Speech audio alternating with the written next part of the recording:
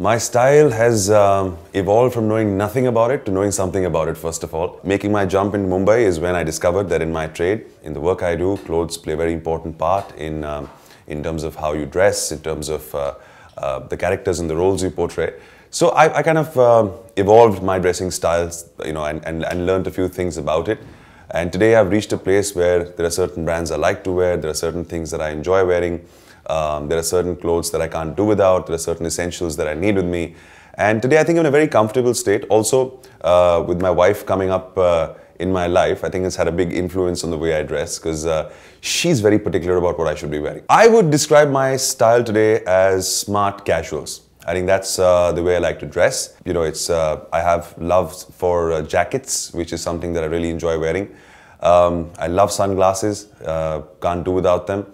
And you know, unfortunately or unfortunately for me, I'm associated a lot with suits because that's what I wear in the IPL. I don't really have an inspiration in terms of somebody uh, when it comes to the word style, but I really like um, the way David Beckham dresses. And along with that, I think Ryan Gosling too. I'd say Ravi Shastri is a very uh, well-dressed cricketer. If you see him on and off the field, he carries off uh, whatever he wears really well.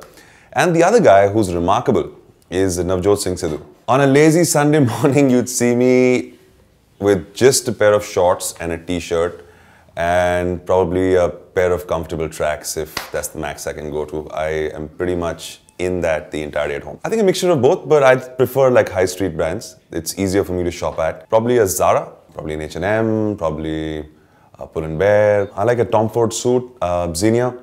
Um, in terms of India, I think Sabyasachi. And my designers who did the clothes for me in the IPL this year, uh, Gopika and Karishma, they're starting off in life. My top five wardrobe essentials would be a great pair of uh, t-shirts, first of all. Have them in about three to four colors. Have them in black or white, gray, green, whatever. A great set of denims. I think they go back, they take you a long way. And to invest in those denims is, is the way to go in life. I'd say some nice jackets, uh, a good go-to jacket, which is something that um, represents your style, represents who you are. I got a thing with socks. I really enjoy good socks. And um, the last thing I'd probably say is a good pair of shades. Sunglasses for me, have a few expensive ones, but keep the right ones for you. Spend money on those. One essential style tip that every man needs to follow is to be yourself.